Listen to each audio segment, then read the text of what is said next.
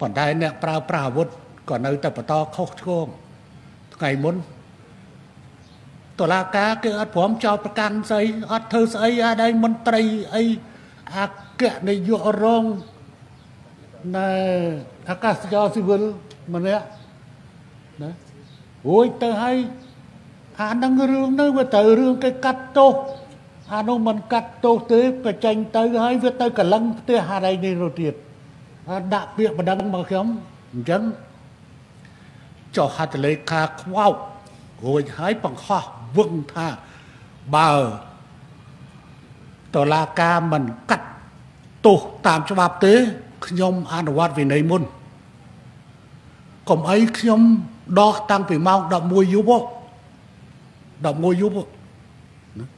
ប៉ុន្តែដោយសារវាយប់ពេកទៅហើយណាចាំព្រឹក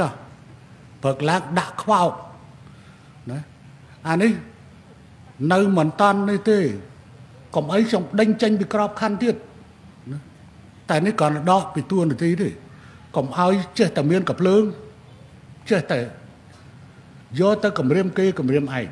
អាហ្នឹងកុំឲ្យលេងអាធនហ្នឹង